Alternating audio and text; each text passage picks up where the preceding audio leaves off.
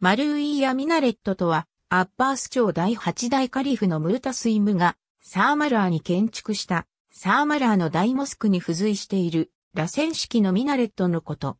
イラクで最も重要な遺跡の一つとされ、イラクの至宝と評されている。このミナレットは849年から建築が始まり、852年に完成した。サンマラーのミナレット、スパイラルミナレットとも呼ばれる。螺旋式のミナレットは世界に3つしか存在しない。基段を含めた高さは53メートルあり、螺旋状の階段を登って上まで行くことができる。階段の外側には柵はないが、内側には手すりがついている。土台は日干しレンガで作られ、焼きレンガと歴製で補強してある。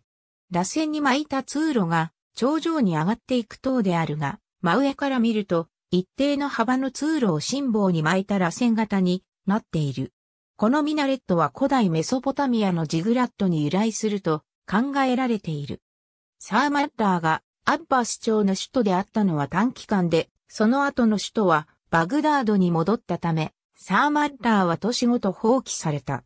そのため、サーマッラーの大モスクは皮肉にも現在まで手付け数で残っている。しかし、材質が日干しレンガであったため、風化による損傷が著しい。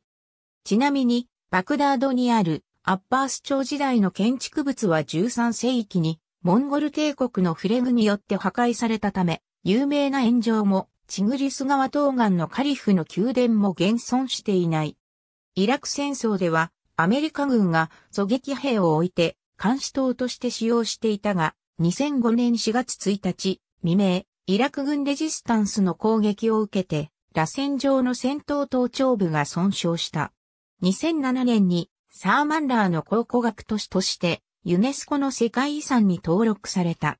イラクの情勢に鑑みて登録と同時に危機にさらされている世界遺産リストにも加えられた。この世界遺産は世界遺産登録基準のうち以下の条件を満たし登録された。